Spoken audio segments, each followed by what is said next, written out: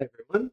Uh, today we are going to turn our attention to one-dimensional kinematics, an exciting time for all that's involved, uh, mostly because it explains how the world works in one dimension. And this is the fundamental mathematics that we're going to use to kind of explain the details of the physics that we see going forward. Uh, and so the idea of kinematics is the study of motion. Kine is uh, a Greek word like kinesis. It just means um, motion. And then matics is, I guess, the word that we tack on to mean we're studying something. And we focus uh, beginning on one dimension because uh, the neat thing about our world is that that's kind of all we need to do just uh, for separate dimensions, at least to get started in physics. Uh, and the basics that we'll engage in here is to start by identifying the position of an object. And again, we're using the particle model, so these are sort of zero-dimensional uh, thing. And we note that the position of that particle is a function of time. So we indicate that as uh, x to indicate its position, and then t to indicate the time. And so this is sort of illustrating uh, what we like to call a motion diagram and it sort of illustrates, uh, just gives us a tool to get going. It's kind of like a still a snapshot of a movie uh, of a particle stacked on top of each other. And so it shows the locations of a particle as it's moving. And each of these time intervals in this kind of schematic diagram is uh, fixed. Uh, so we kind of see it slowing down over time where these little intervals uh, come to stop. So the particle is moving to the right and then coming to a stop. And so we use this little bit of a motion diagram as ability to just kind of sketch things out and illustrate the points that we mean. Uh, so we define its position as the location of a particle relative to the origin, and so we'll often indicate that t and give it a time that's uh, zero to indicate it's the first one, and it goes on to infinity. So uh, the displacement of a particle is the measurement of the differences in positions, which are measured relative to the origin, uh, at different times. And we always construct our vectors here as a final minus an initial. And so this little diagram here is showing the displacement from t0 to t1. And so this is the position of the final minus the position of the initial. So the vector is what is able to connect uh, these uh, two particles together. If I take the initial, I add this vector to it, I get the final. Uh, so this works as a vector. We'll do it later in two dimensions and three dimensions, but for now, this is what we mean by the displacement.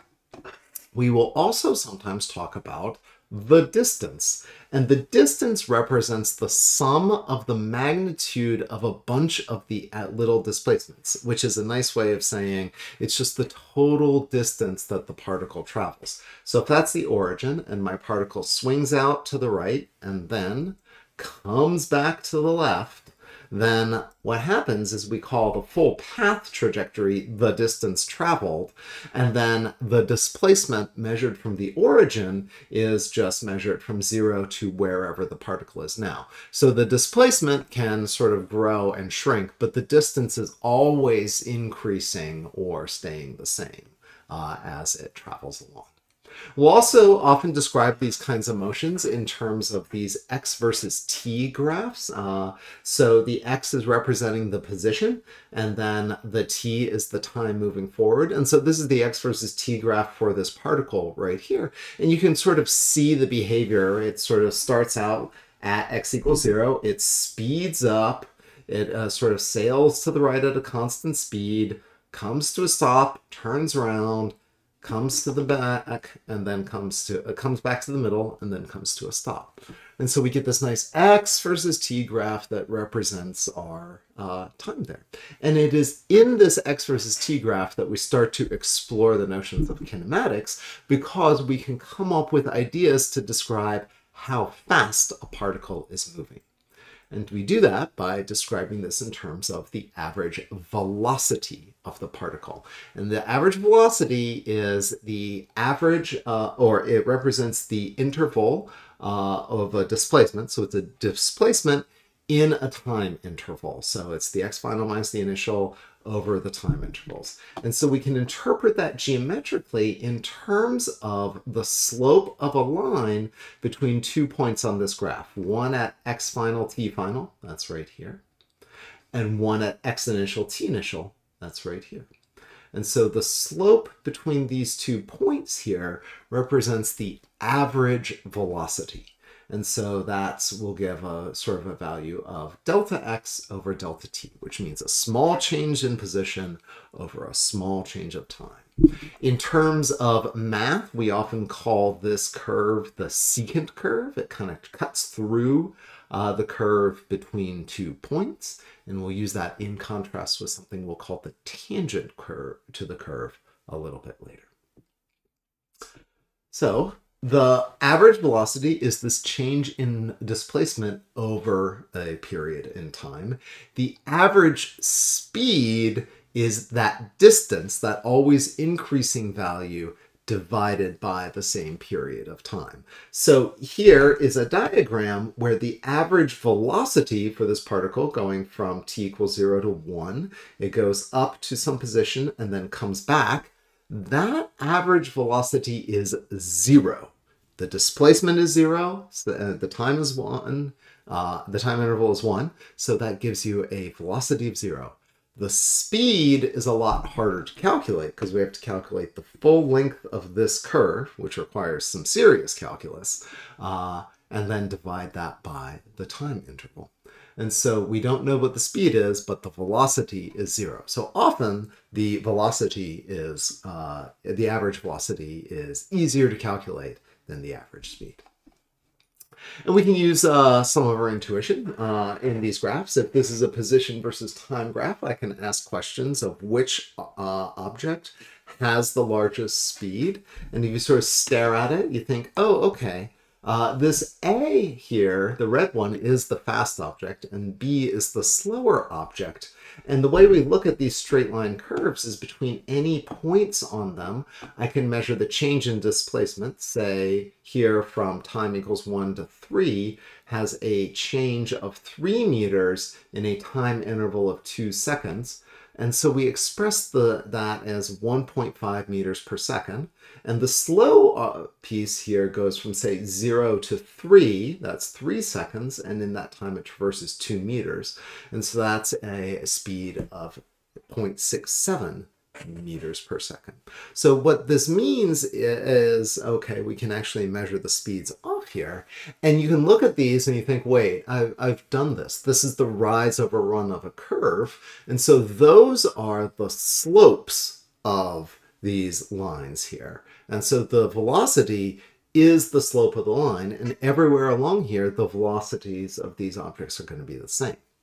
But that's not necessarily true for all objects. In fact, for any our previous uh, curve here, it had this weird position versus time shape. And so the actual average velocities that you measure really depend on the two points here. And it doesn't quite capture the velocity of the object at any given point. So instead, what we do is we think about this in the context of uh, the slope of this curve at a single point uh, here, and we call that the tangent point here. And the way we think about that is, well, what if we calculate the average velocity over progressively smaller and smaller time intervals around this point. We shrink up that uh, average velocity interval to be smaller and smaller until it's just measuring it right there at that single point.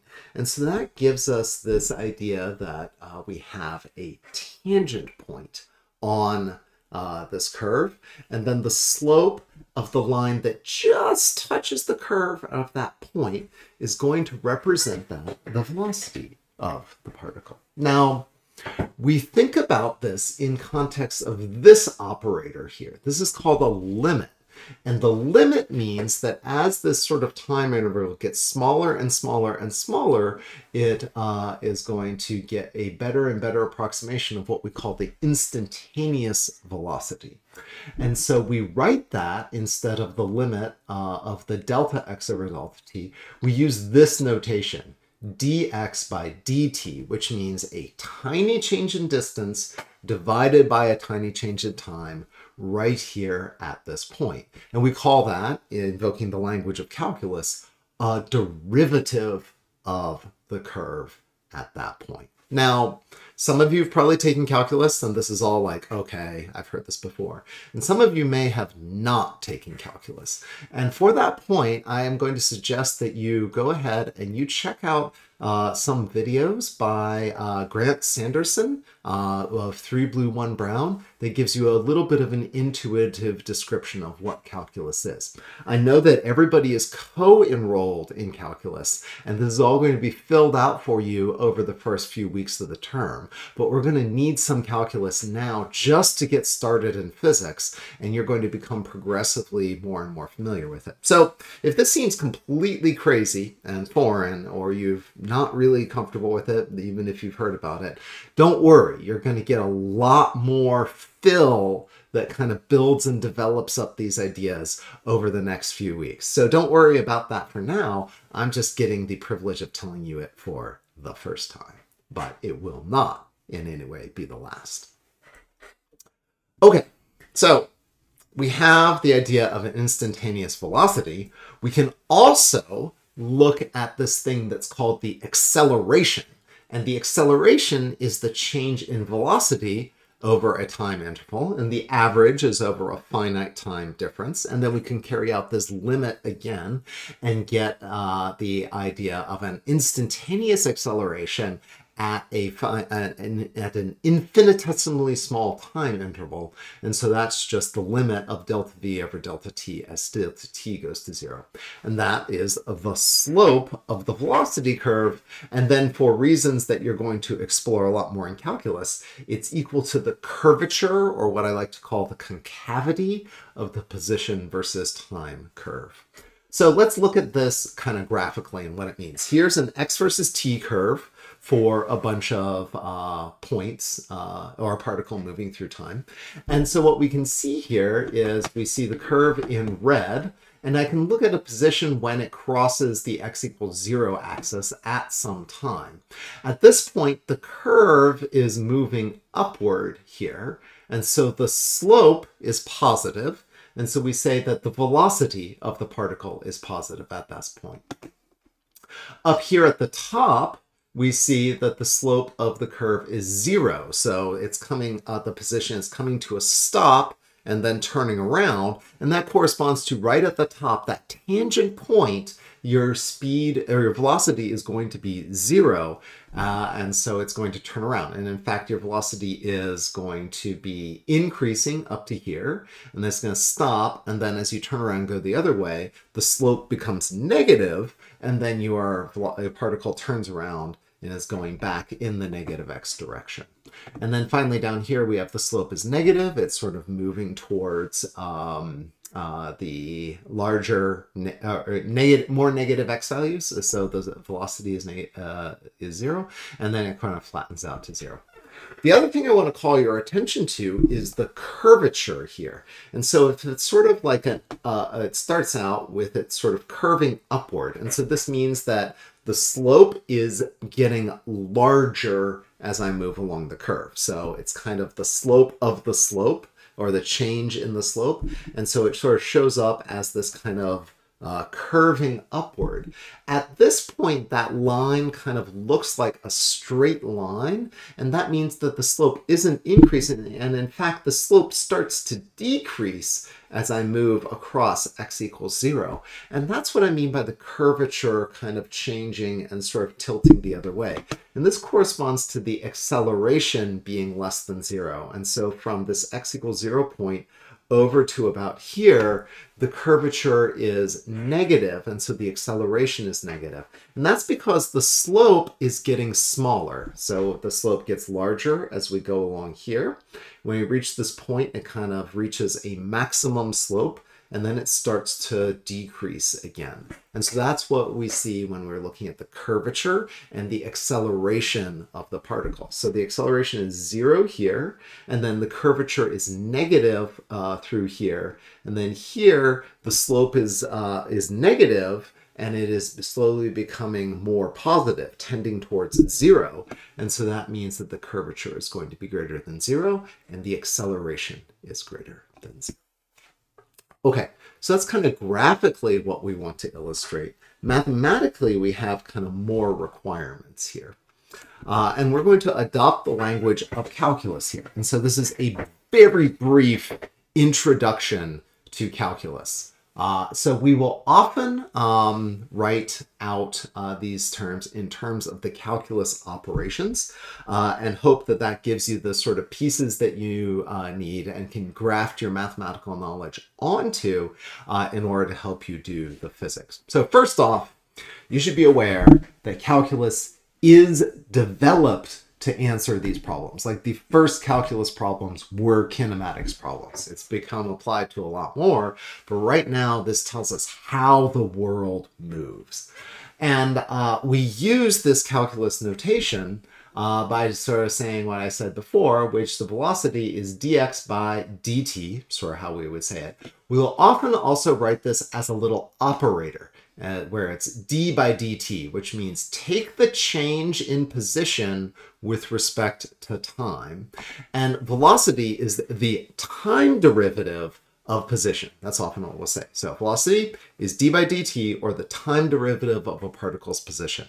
Similarly, acceleration is the time derivative of velocity. And if we think about this as an operator, we will often write this at dx by dt is the v, and so the acceleration is d, the d by dt, or the time derivative of dx by dt. And so we'll write that often using this notation where we kind of square the operator. It's a weird notion, but it's d squared x by dt squared. And so linguistically, we say that we say the acceleration is the second time derivative of position. So that gives us uh, just the words that we're going to talk about and how we're going to express these things. But the, uh, practically what this means is it says take the position and take two time derivatives of it. We'll actually talk mechanically about how you do that in a few slides, but right now I'm just trying to set up the language. All right, so the first mathematical tool is that derivatives are what mathematicians like to call linear. And linear means that if I have a combination of two functions, f of t and g of t, multiplied by just constants, which means like numbers, uh, a, big A and big B, that I can take a time derivative operator and kind of pass it in and apply it to f and g separately, and then I pull the constants out front. Uh, and so the you basically say, okay, this is a times df by dt plus b times dg by dt. So we'll use that tool occasionally. Uh, it's very useful to have. Um, the next is that products of functions follow a special rule. And that is if I take a time derivative of product of two functions, the first thing I do is I write down uh, the first function and I take the derivative of the second, and then I add to that the second function times the derivative of the first. And so the important thing is that I just don't take the derivative of both functions and multiply them together. I have to do this, what we they call the product rule, which is one thing gets a derivative times the original other thing, and then you do the derivative applied to the other thing. And so you need those two separate terms. So we'll illustrate all of these things as we go, uh, as we move along.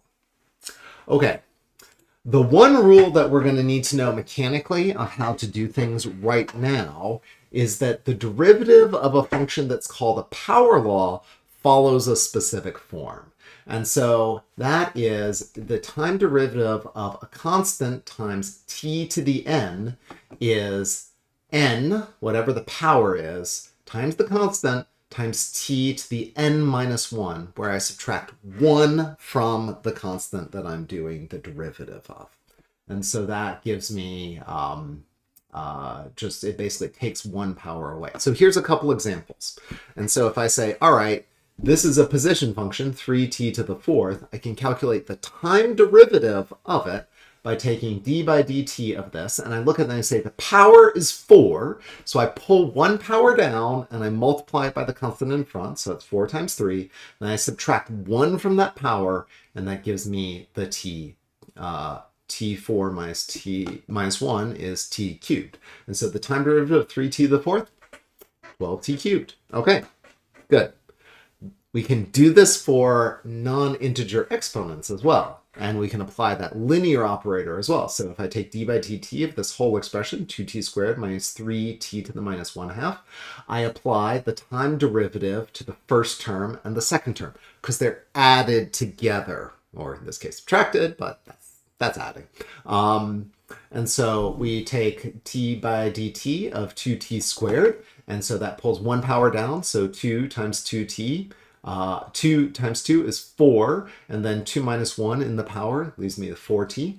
And then for the minus 3t to the minus 1 half, I pull down a minus 1 half power, and so that comes down and it becomes a negative 1 half times 3, becomes plus 3 halves, shows up over here. And then I subtract 1 from the power, that's minus 1 half. Uh, uh, minus 1 is minus, uh, 3 halves there. So that's kind of the basics of the mechanics. Let's do some physics. So I can ask the question, what uh, is the average velocity of this particle between t equals 0 and t equals 2 if it follows a trajectory where x is given by this function. You notice all those constants have to have units on them so that they have the same dimensionality. So if time is in seconds, it'll be seconds cubed divided by seconds cubed, leaving behind meters. So that's important. All of these terms have to have the same dimension. That was the last lecture. And so this is the function that we're looking at. We're going to look at the time from, let's go to here, uh, t equals 0 to t equals 2 seconds. And so we can mechanically just kind of look at it and say, that's the line I care about. And then I care about V average is just basically the slope of that line. And I can read this off here. So this is going to be minus 4 meters minus the, uh, so sorry, let me actually write out the function that I'm calculating here. So this is basically x final minus x initial over t final minus t initial. And so x final there is minus 4 meters.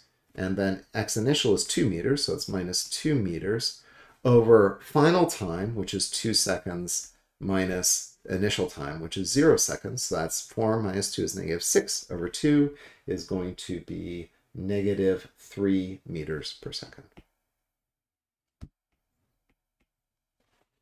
Okay. So uh, that gives us our sort of first uh, uh, view of all this. So the next thing we want to do is actually calculate that as if we were going to use the function itself.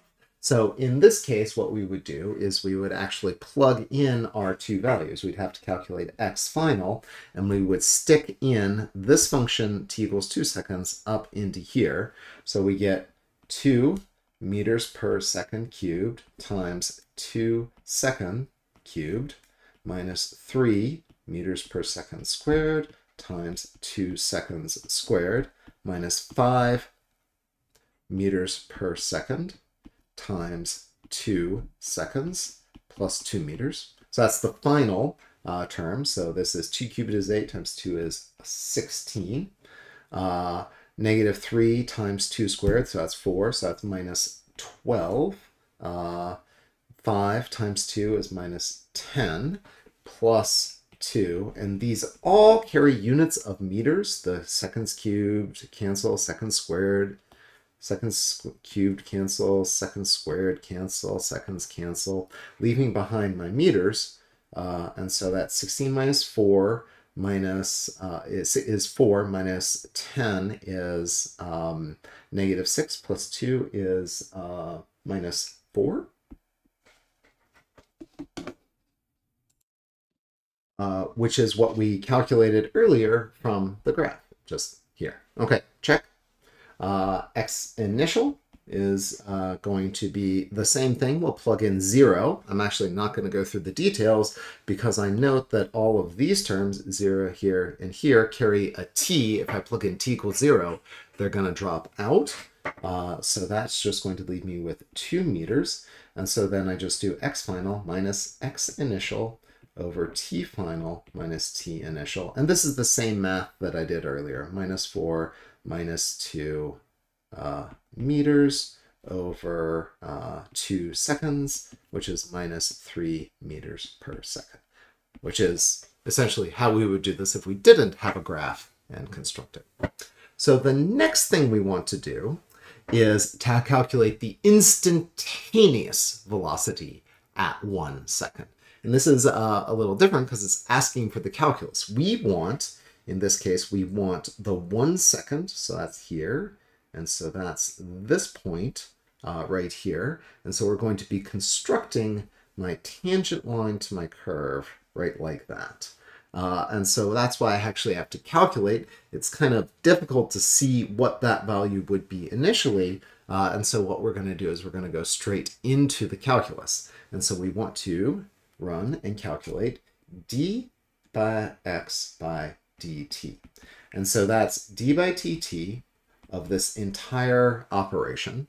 And so what I can apply this to is to use my linear operation rules. So that's d by dt of the 2 meters per second cubed uh, times t cubed minus d by dt of 3 meters per second squared times t squared.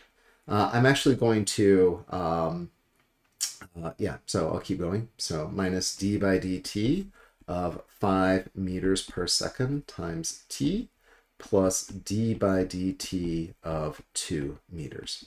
I'm going to start out with the first uh, one, or the last one, uh, and that is that one rule in calculus is that the time change of a constant is zero, which kind of makes sense. Uh, the uh, graph of d by t of x equals 2 meters is just kind of a flat line at 2 meters if this is t and this is x and this is uh, x equals 2 meters. There's no slope to this line, so this last term here is going to drop out and go to 0. Okay, so that's uh, the first thing. The next thing that I'm going to do is I'm going to pull out my constants, my multiples in front. So I get 2 meters per second cubed comes out. And then I get a d by dt of t cubed minus, same thing here, 3 meters per second squared, d by dt of t squared minus d by, oh, sorry, I got to minus 5 meters per second d by dt of t. And then the last term has dropped out. And so then I have to start my operations. So d by dt of t cubed, that goes to 3t squared uh, d by dt of t squared. I pull down the 2, leaving 1 behind in the exponent, and so that will go to 2t. And then the time derivative of t to the first is 1 times t to the 0, or just 1. So then that becomes 1.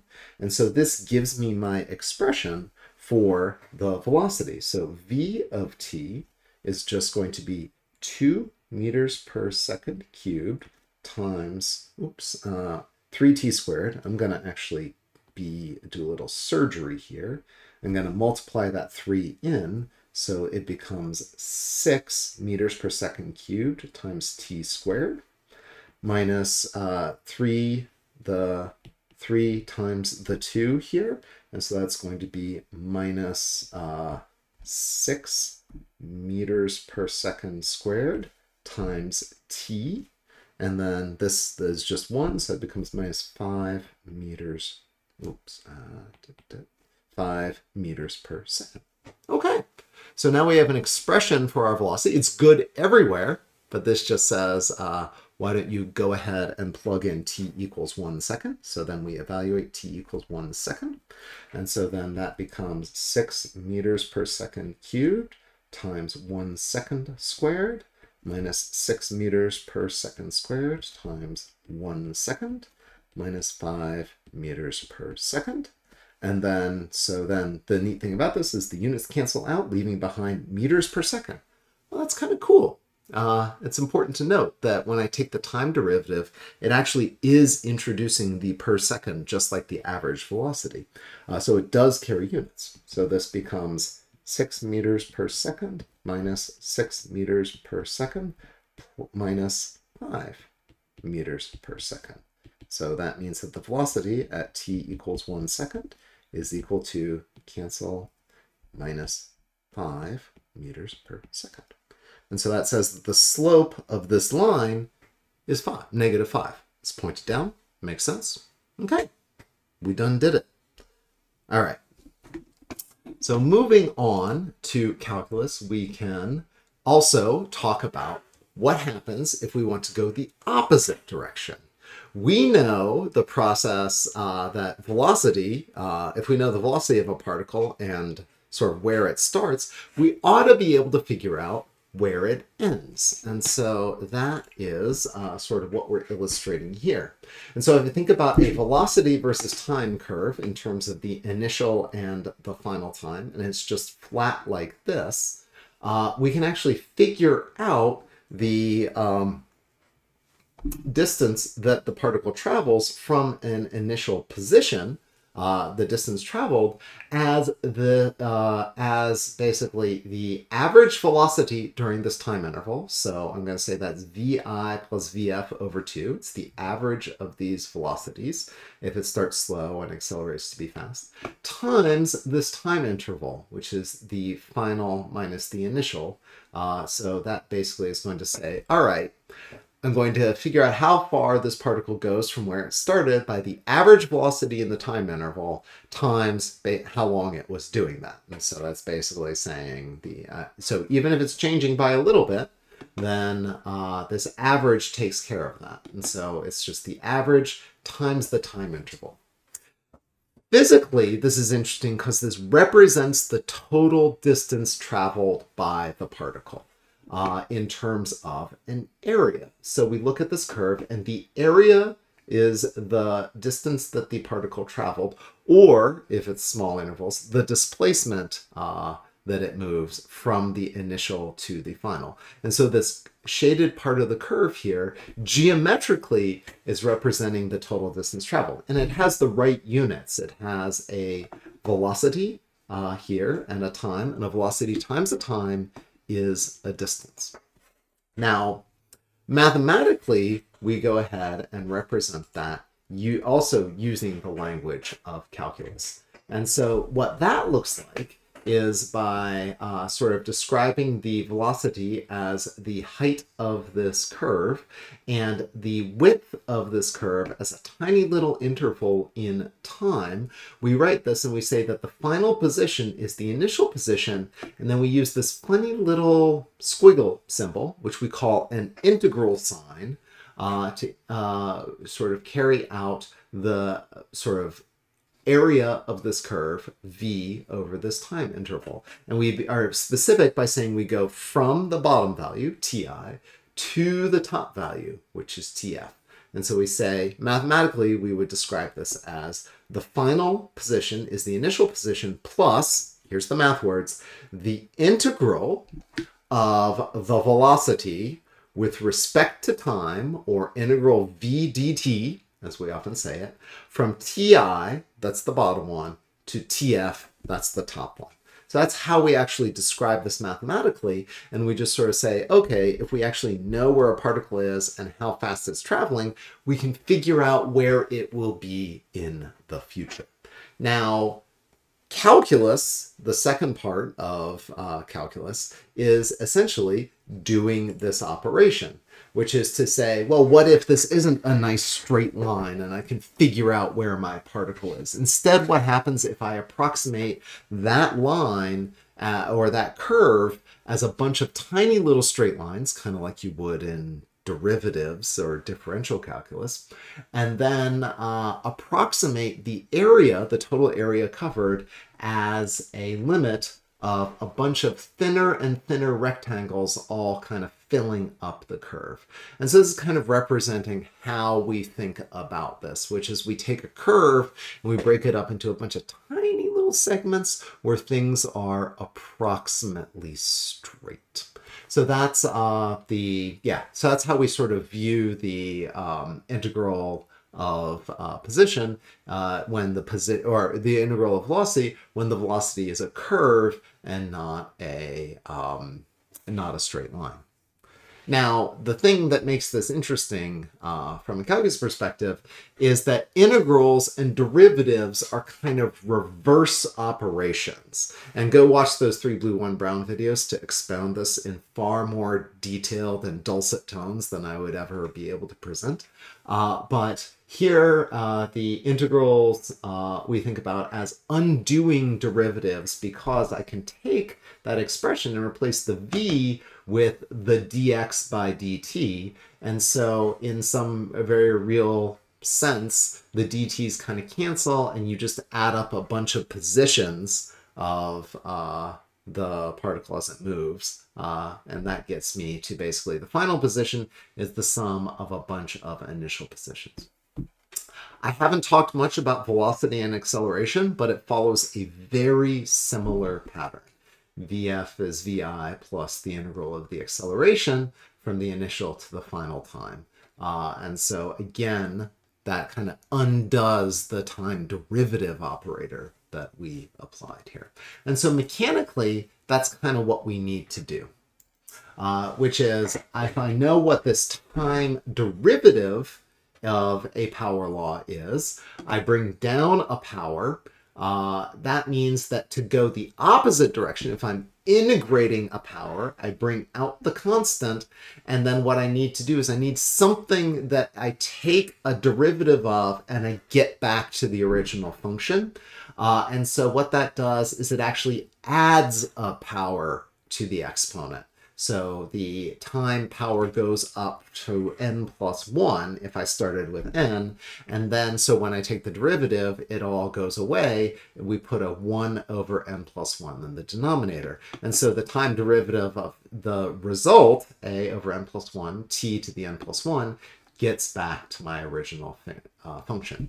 And if we're just going to be careful about where things start and finish, when we carry out this integral, uh, we do a over n plus 1, and then we stick in the final time raised to the n plus 1 power minus the initial time raised to the n plus 1 power. And so that gives me an expression where I can sort of move forward uh, from a velocity to a position or from an acceleration to a velocity. Okay, so that's mechanically what we need to know about calculus. So let's actually do an example that illustrates uh, this here. If I say, if I have a particle's position at v of t, uh, and I have some expression for it, and the particle is uh, at x equals 0 meters at t equals 0 seconds, where's the particle at t equals 3 seconds?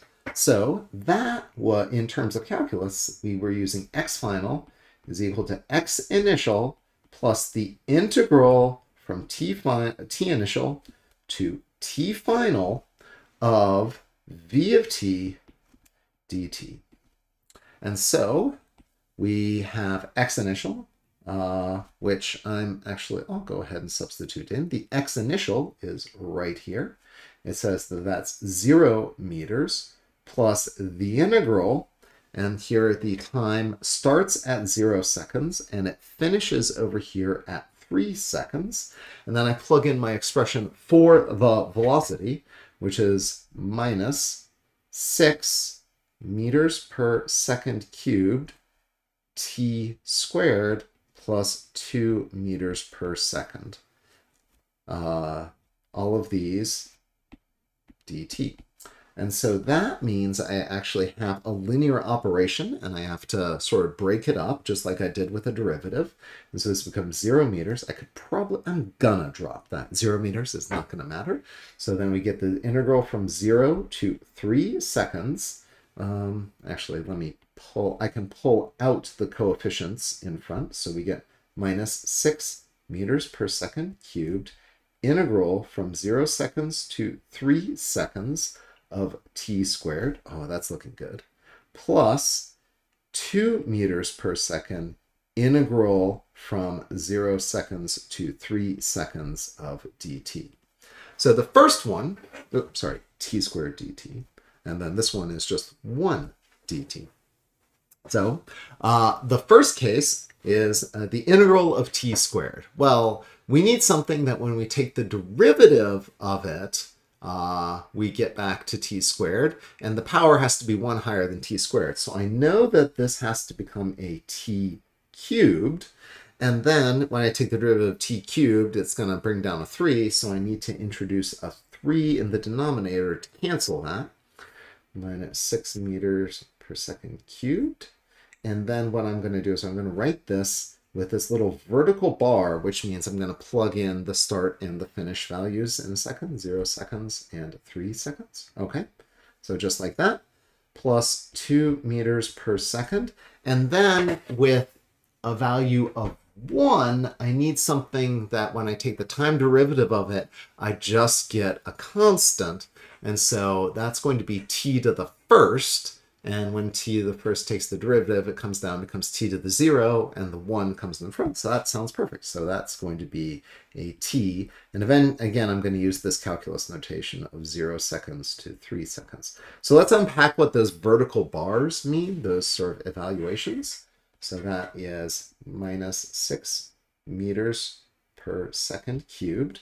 And then I'm going to plug in, I plug in 3 seconds cubed over 3. And so that becomes uh, 3 cubed over 3 is 27 over 3 is 9 uh, seconds uh, cubed minus 0 seconds cubed Okay, that's good.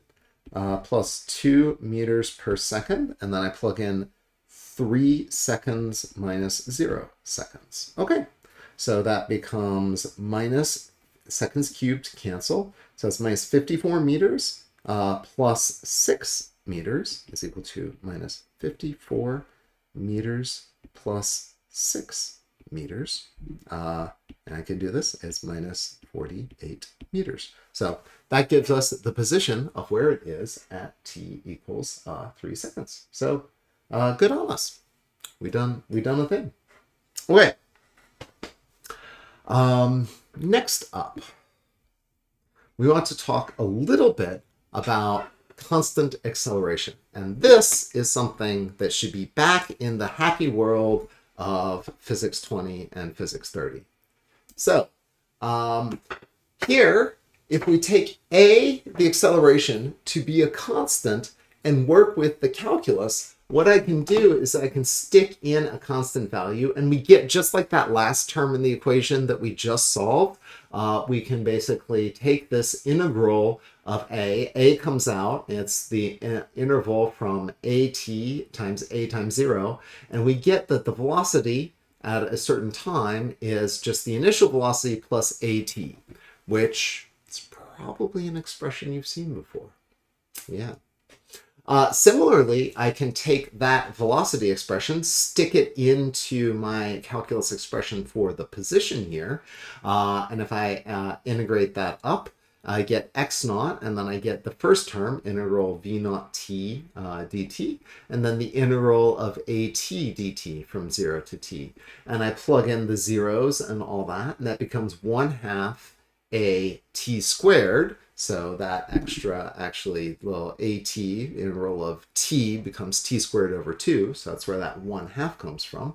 So this becomes x naught plus v naught t plus 1 half at squared definitely an expression that you have seen before, but here this follows just from applying those calculus formulas and just carrying out the uh, constant acceleration and just doing a little bit of just doing a little bit of math and out come those formulas. So it may seem complicated now, but the more you get familiar with calculus, the easier and easier this kind of expression will uh, become.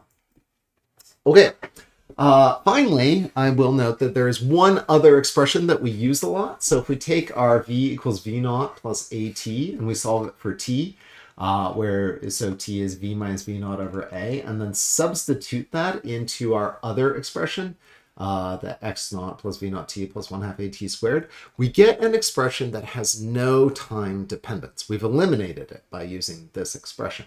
And if I do a little bit of algebra on it, sort of illustrated here, and collect my terms, expand things out, I find that I can solve for the final velocity in terms of the initial velocity squared plus 2a times x minus x naught, which is sort of how far I've moved from my initial position at the constant acceleration. So we'll use this expression an awful lot um, when we sort of need and sort of solve things because it has no time dependence. And if that's not in the problem, we can do those kinematic problems with ease. Okay, so this uh, gives us just a quick exposition of how calculus makes all of those formulas uh, kind of come together uh, from your Physics 20 and your Physics 30 experiences. Uh, the other thing that you're probably used to that we'll sort of put in a bit of a note about is the idea of free fall. And so free fall is a case of constant acceleration, and it refers to particles that are near the surface of the Earth, or really any planet, uh, they're near the surface of the Earth. They are falling a distance that is small compared to the radius of the Earth. We can neglect air resistance. We can neglect rotational effects. Then we can treat gravity as providing a constant acceleration downward with a magnitude uh, that's given by the standard constant, which we round to three decimal places as 9.81 meters per second squared, or often in our line of work, we call that a 10. Uh, but anyways, so this gives us a constant acceleration. Uh, it has this magnitude of 9.81, and we typically assign it the or it defines what the direction of downward is. And if we're defining our plus y direction being up, then we get by applying our constant acceleration formula, we say y is y naught plus v naught, and we use this little extra expression y uh, to indicate that it is the velocity upward in the y direction times t minus 1 half, there's that g t squared. Now, G can vary from planet to planet that you're on, uh, as long as you're near the surface and there's no air resistance and stuff. Uh, but for Earth, it's this 9.81 meters per second squared uh, of one-dimensional kinematics. And that is, there's sometimes math is going to ask you to take some complicated functions and then take a derivative of them. Like this function here, x of t is sine of b times t cubed. This be a little while before this happens in this class, but I'm just warning you that this is something that's coming forward. And mathematicians like to view this as what we call a composition of two functions, where there's a f of t that's just sine of t, and then g of t, which is just like b times t cubed. And then you can represent that x up there as f of g of t. So it's a composition, uh, you do a function, then you do another function. And calculus gives us a special rule for these composition of functions, which is called the chain rule.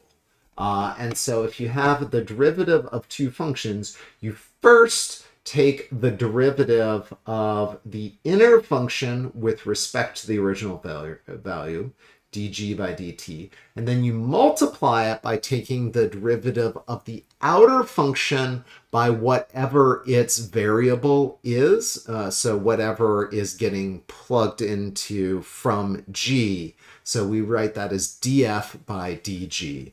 And so in this case, uh, we write, you know, sine of bt cubed, uh, we say first we will take a derivative d by dg of sine of this g, whatever it is coming out of the g function. And you may or may not know this, but the derivative of a sine function is cosine. Kind of cool. Uh, and so then it's the cosine of g of t. And so we can just plug in b t cubed. So that's the first term. And then I take the derivative dg by dt in terms of bt cubed. So this is uh, just becomes a function that we know, which is 3 bt squared. The power comes down, subtract 1 from the power, that gives us this. And so we can take our overall function as 3bt squared times cos bd cubed. So we basically multiply these two results together. There's no reason why you should believe me on that right now. But I want to bank something. And that is in physics, we can kind of view the acceleration as dv by dt. That's no form. But if we had v as a function of x, for some reason we knew how fast something was moving based on where it was, we would have we could write this expression as dv by dx times dx by dt and view it as a chain rule function. And so then I would write dv by dx, but then dx by dt, that's a thing we know. That's just v. That's the velocity here. And so we get an expression that the acceleration is dv by dx times v, or, and you can sort of do this in math, they, they hate it, but it's, you know, 10 tricks that uh, mathematicians hate that you know, is you actually bring the dx up here, and so we'll have a nice little expression that says that a dx is equal to v dv. And I don't expect you to believe me or try, uh, you know, sort of intuit that or anything until we get farther into calculus. But this little nugget's going to allow us to solve some really amazing problems. So this is an investment in the future. And with that investment in the future, I think we're done for the day. So let's call it uh, let's call it the end of uh, 1D kinematics. At this point, uh, go ahead and work on your content quiz answer any questions that you uh, ask any questions, things you'd like to do more of, and then we'll actually really dive into and get more comfortable with this material as we go into class. All right, thanks for listening. I'll talk to you in class.